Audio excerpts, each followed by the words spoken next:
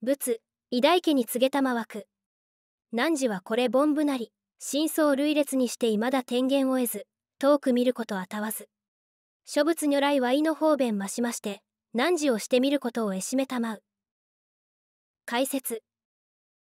ここは釈尊が偉大家に向かって語られる言葉です。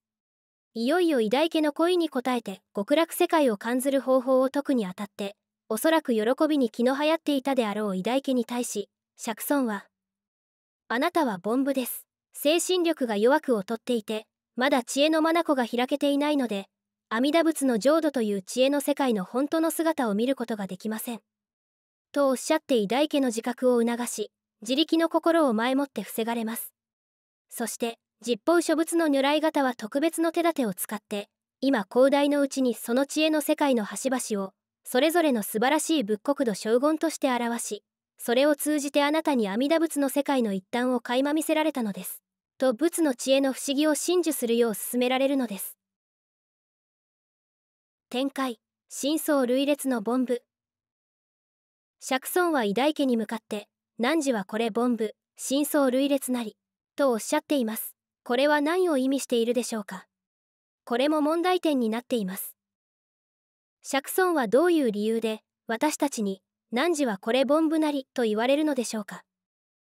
禅道大師は釈尊のこの言葉によって偉大家部人は凡夫であって少者ではないと確認し漢無量寿教が凡夫のために説かれた教えであることを強調しておられます。またこの釈尊の言葉について宗祖はすなわちこれ悪人往生の来たることを表すなり新宗聖典332ページと述べておられます。国の大部人として何でもできるしなくてはならないと力んでいた偉大家はアジャセに幽閉されてそれが思い上がりだったことビンバシャラを救うどころか我が身一つ助けられない全く無力な自分であることを思い知らされました。もう自分ではどうしようもなくなった偉大家は釈尊に救いを求め何もかも投げ出してこの苦悩から逃れ安らぎの場所を得たいと願いました。そんな偉大家に対して釈尊はいい加減な慰めの言葉などかけられません。あなたは本当に弱い存在です。ときっぱりおっしゃいます。この釈尊の言葉は偉大家に最後の一点まで逃げることなくありのままの自分を見つめ受け入れなさい。と自覚を促す言葉であると同時にそんなあなたのためにそしてあなたと同じように苦しんでいる全てのもののために私は今ここに来ているのです。どんなことがあっても決してあなたたちを見捨てたりしませんよ。と微笑み包まれる大悲の言葉でもあります。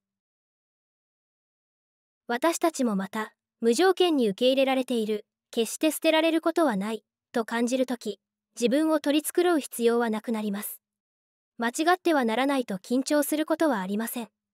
自分を良しとする必要も自分はダメだと卑屈になる必要もありません。ありのままの自分でいい。そのままに救い取るぞ。そうおっしゃってくださっているのです。諸仏如来の意の方便宗祖はこれについてすなわちこれ上算諸前は方便の経たることを表すなり新宗聖典332ページと注釈されています。つまり字面通りにはこれから具体的に説かれてゆく上前13巻及び三前3巻において真相類列の凡夫である偉大家が極楽国土や阿弥陀仏を見ることができる漢が成就するのは諸仏の方便物力によることが確認されているわけですがこれは翻って言えば上前も三前三福九本も諸仏より得せされる物力がなければ凡夫の自力によっては決して実現しないこと自力無効が教えられているわけです。そしてその他力の最も純粋な形が阿弥陀仏の本願によって偉業として選ばれた念仏です。諸仏が漢方を通じて極楽世界をお見せになるのも結局は主情に願昇心を起こさせてこの念仏一行に誘引するための方便であると親鸞上人はおっしゃるわけです。教言。お原神受徳念仏三枚とのたまえり。すなわちこれ上官成就の役は念仏三枚を売るをもって官の役とすることを表す。すなわち関門をもって方便の経とせるなり新州聖典332ページ。しかるに上物の凡具。上心主し型し測量行進のゆえに。三心行事型し配悪主前のゆえに新州聖典340ページ。おおよそ大小承認一切善人本願の加護をもって己が前言とするがゆえに真を生ずることあたわず仏地を悟らず新州聖典356ページ。時に偉大家仏に申して申作。世尊我がごときは今物力をもってのゆえにかの国土を見つ。もし仏滅の後の諸々の主情と俗悪不全にして極に責められん。いかにしてかまさに阿弥陀仏の極楽世界を見るべきと。解説。幸いにして偉大家は釈尊がイラつしゃるおかげで古代原告を通じて極楽世界を垣間見ることもできましたしこうして往生浄土を願ってその行を直接釈尊にこうて教示を仰ぐこともできます。しかし釈尊の慈悲に触れ自ら凡夫であることを自覚した偉大家はもはやたまたま仏の財政に居合わせた自分たちが救われるというだけでは満足できない身となっていました。釈尊がこの世を去られたら世の中はますます悪くなる。その時私と同じような凡夫である人々は釈尊の助けもなしにどうしたら官を全うして極楽世界を見ることができるだろうか。こう考えずにはいられなかった偉大家は仏滅後の主情ともども救われる道としての情報を問い求めるのです。今仏力をもってのゆえにと釈尊に仏頓を射し自力無効の自覚を表明した偉大家ですがこの時偉大家にはまだ釈尊の仏力によるがゆえにという言葉の真意がつかめていなかったのかもしれません。親鸞上人はこの箇所をこれすなわち他力の心を表すなり新州聖典322ページと釈しこの物力も実は阿弥陀仏の本願他力でなければならないことを明らかにしておられます。しかしとにかくここで注目すべきなのは偉大家の心境の変化でしょう。展開。仏滅後の諸々の主情ここで偉大家の心に大きな変化が見られます。今まで自分の不幸を囲ってばかりいた偉大家が仏滅後の主情の苦しみに思いをいたし釈尊に向かってその救いの道を求めるのです。俗悪世とは誤辱に満ちた時代社会のことですが簡単に言ってしまえば自己中心的な欲望画集が原理となっている世界です。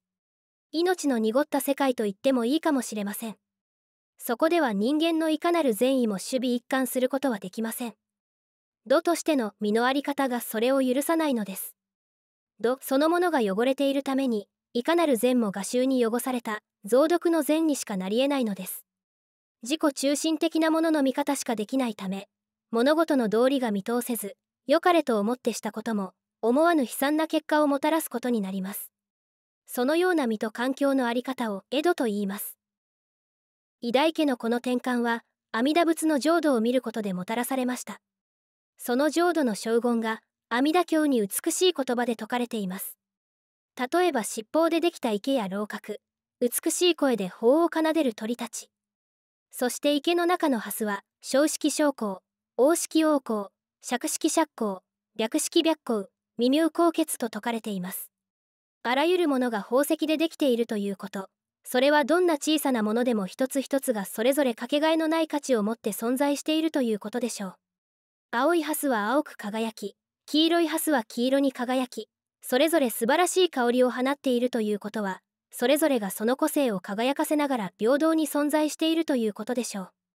つまり浄土とは仏の正常な心と行によって実現されたと如来の平等な大心をもって眺められた世界そのものです。あらゆる命をそのままに生かし輝かせる如来の大心を原理とした世界です。浄土に生まれるということはそうした如来の大心に目覚めた身の在り方を賜ることです。今偉大家は釈尊の大悲の心を通じてこの広やかな平等の世界に触れたのです。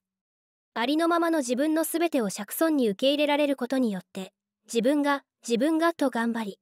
なぜ自分だけがこんなに苦しい思いをしなければならないのかと孤独のうちに絶望していた自我の囚われが解け釈尊が身をもって示された自他分別のない広大な大悲の世界を胸として生きる願いが起こってきたのです。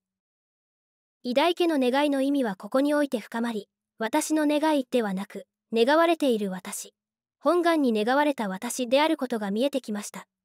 そしてその願いは釈尊の促しと導きを受けて偉大家が自分自身のうちに探り当てたがよりも深いところに流れる一切主情の願い。すなわち阿弥陀仏の願いでもあったのです。偉大家は浄土へと心開かれました。ここに偉大家は一切主情と共に生きる願唱者として道を歩み出したのです。教言。念仏成仏はこれ新宗なり新宗聖典179ページ。明らかに知りぬこれ凡章自力の行にあらず。狩るがゆえに不栄光の行と名付くるなり。大小の証人重教の悪人皆同じく等しく戦弱の大崩壊に帰して念仏成仏すべし。新州聖典189ページ。大狂気心すなわちこれ真実信心なり。真実信心すなわちこれ混合心なり。混合心すなわちこれ元佐仏心なり。元佐仏心すなわちこれど主情心なり。新州聖典241ページ。